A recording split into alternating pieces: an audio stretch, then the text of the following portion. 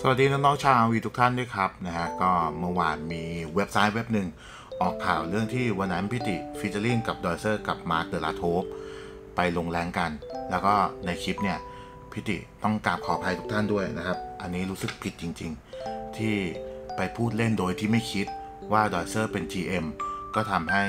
น้องๆหลายคนเข้าใจผิด แล้วตัวดอยเซอร์เองก็ต้องมานั่งแก้ข่าวนะครับ ตรงนี้ ติรู้สึกผิดมากจริง ๆ นะครับ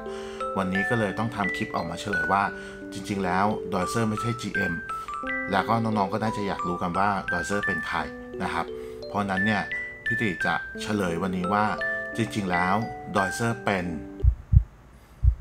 ดอยเซอร์เป็น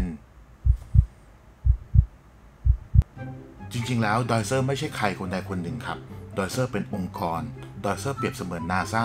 ดอยเซอร์มีหลายคนที่มาควบคุมในแต่ละวัน เราจะสังเกตเห็นว่าดอยเซอร์เล่นเก่งหลายตัวมาก เพราะงั้นจริง ๆ แล้วแต่ละวันเนี่ยดอยเซอร์เป็นคนละคนกัน ดอยเซอร์วันนี้เล่นเรียวมะเก่ง ดอยเซอร์วันนี้เล่นไวโอเลตเก่ง จริง ๆ แล้วดอยเซอร์เป็นองค์กร ก็ต้องกราบขออภัยอีกครั้งครับ ที่เมื่อกี้นี้เล่นอะไรไม่เข้าเรื่องออไร้สาระไม่เป็นเรื่องเป็นราวนะครับ คราวนี้มาเข้าเรื่องจริงบ้างซีเรียสซีเรียสนะครับว่า จริงๆ แล้วดอยเซอร์เป็นดอยเซอร์ไม่ใช่ GM ครับ จริงๆ แล้วดอยเซอร์เป็นคนที่สร้างเกม RV ขึ้นมาดอยเซอร์เป็น Developer ดอยเซอร์เป็นเจ้าของบริษัท Tencent ขอโทษอีกครั้งครับนะฮะเล่นไม่รู้เรื่องรู้ราวเลยจริง ๆ เลยแบบโอซิมปากไม่ดีเลยนะครับเอ่อ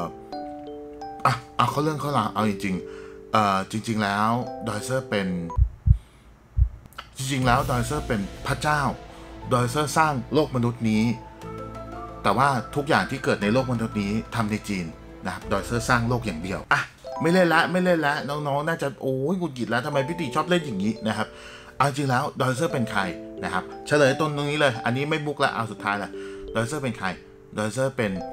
น้องคนหนึ่งที่รู้จักกันในวงการนะครับ แล้วก็นิสัยดีเล่นเกมดีนะครับ ดเซอร์เป็นน้องรักของพิติเองนะครับนะฮะลาไปก่อนคลิปนี้ครับ น่าจะหายสงสัยแล้วนะว่าดเซอร์เป็นใครนะฮะสวัสดีครับ